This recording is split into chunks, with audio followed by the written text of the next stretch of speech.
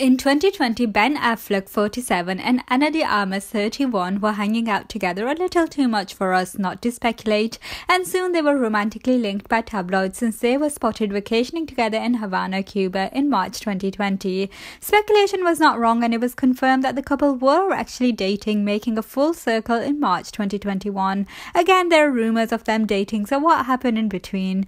Well, in January 2021, it was reported by people with a source revealing that Ben is no longer longer dating Ana. She broke it off. Their relationship was complicated.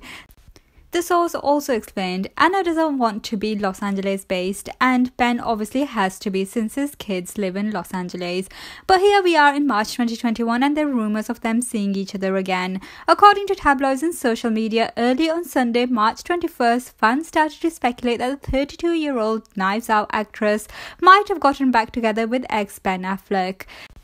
The rumor was sparked by Ana herself, most likely without any intention, but eagle eyed fans got no chills. Ana posted a selfie wearing a half heart necklace, which she wore a lot when dating Ben. Ben was spotted out wearing the same necklace while they were together.